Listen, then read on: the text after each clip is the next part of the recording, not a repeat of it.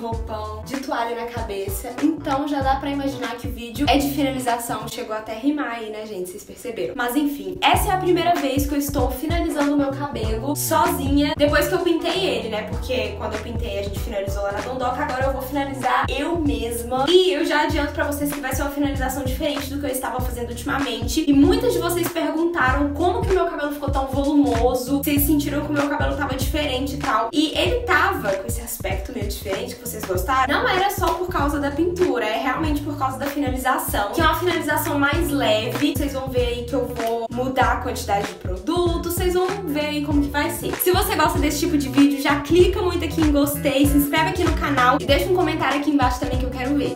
Primeiro passo é tirar a toalha da cabeça. Olhem, gente! Aqui na luz do banheiro ele realçou bastante, porque a luz vem de cima e aí ilumina bastante o cabelo. Mas vamos lá. Vou começar repartindo meu cabelo. E, gente, é o seguinte, uma coisa que mudou na finalização. Vocês lembram que eu sempre falava que gostava de finalizar o meu cabelo bem seco? Agora, gente, a gente tá mandando água no cabelo. Essa dica é legal porque o cabelo vai ficar muito mais leve, a gente vai usar menos produto. Então, assim, tá totalmente o oposto do que eu costumava fazer. Mais água, menos produto. Então eu vou começar borrifando a água. E vocês sabem que o meu cabelo seca muito rápido, né? Só de ficar com a toalha na cabeça ele já seca. E o creme de pentear que eu vou usar é esse daqui da Cacho, creme de pentear de babosa. Ele é um produto mais novo, assim, né? Ele é praticamente um lançamento. E eu gosto dele porque ele é liberado. Eu uns produtos mais liberados. Ele é até leve, só que ele é super hidratante, né? Tem babosa, então a gente ama. E agora, vocês vão ver que eu vou colocar pouco produto. Peguei isso aqui, não sei se eu vou usar esse aqui tudo nessa mecha. Vou botar menos e vou dividir pro outro cabelo também. Gente, quem me acompanha sabe que eu uso muito mais. Vou pegar só um pouquinho mais pra esse lado de cá. Bem pouquinho. Vocês sabem que eu usava muito mais produto, né? Mas agora é algo diferente. mais água. Sério, o cabelo chega a ficar meio encharcado assim, sabe? E eu sempre falava pra vocês que o meu cabelo demorava muito pra secar. De qualquer forma, ele demora, sabe? Independentemente de muito ou pouco produto. Só que quando tá com muito produto, ele demora mais ainda do que quando tá com muita água. Porque a água, por mais que aqui esteja com muita água, ela ainda assim seca mais rápido do que quando você aplica muito produto. Porque aí você aplica muito produto e pouca água, seu cabelo vai ficar com muito óleo, muito pesado, né? E aí dificulta um pouco mais. Nada contra, porque vocês sabem que eu também gosto de usar muito produto. Mas é realmente essa questão aí. Só um titico-tico mais. que esse é um creme mais leve. Pronto, apliquei nessas mechas e agora eu vou prender como eu sempre faço.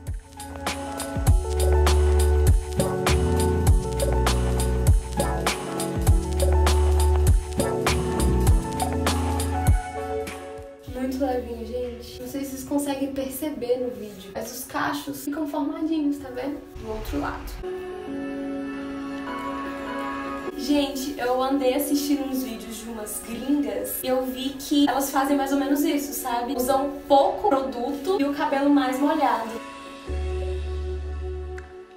Ok, agora eu vou pegar toda essa parte aqui que eu já finalizei e vou aplicar um pouquinho de gel. Vou usar o gel de babosa, que vocês já sabem que eu gosto muito. Mas eu vou pegar pouquinhozinho. Não sei nem se dá pra vocês verem aí.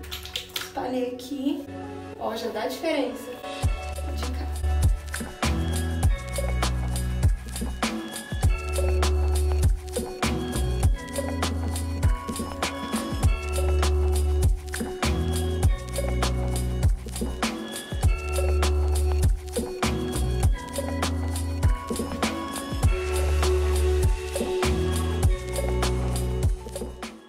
Gente vai vir com gel de novo.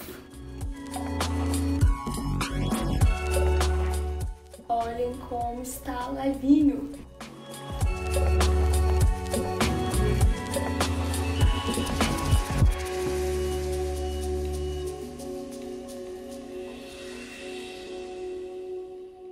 Pronto, creme. Creme aplicado em todas as mechas. Agora eu venho com gel novamente, porque essa parte aqui de cima não pegou o gel. E eu vou pôr um pouquinho mais, né, comparado à quantidade de cabelo, só porque aqui, ó, é a parte que mais precisa de definição no meu cabelo. Ela sempre fica mais enfarofadinha, sabe? Já dá pra perceber que o cabelo tá bem leve, né, como eu disse, mas tá cheio de cachinho formado, ó. Tá vendo? A fitagem ficou bem feitinha, apesar é, de não ser tão detalhadinha. Agora eu vou vir com um pouquinho mais de gel nessa parte aqui, pra dar um tchan. E vou fazer um pouquinho de dedo liso.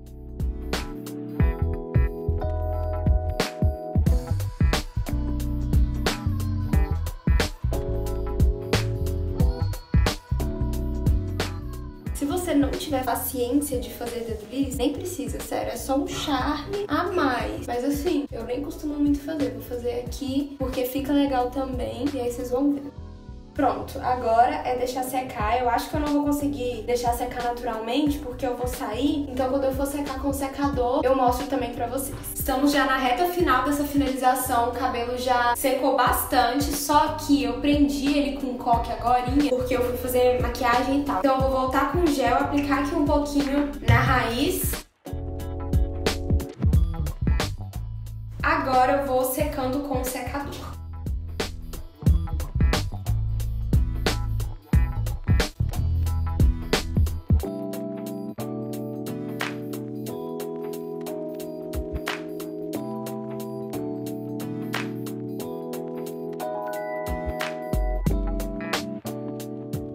Gente, então é isso. Eu espero muito que vocês tenham gostado dessa nova finalização bem levinha, né? Que tá realçando bastante o cabelo novo. Testem aí no cabelo de vocês e me contem aqui nos comentários, tá bom? Que eu quero saber. Um beijo, muito obrigada por tudo e até amanhã. Tchau!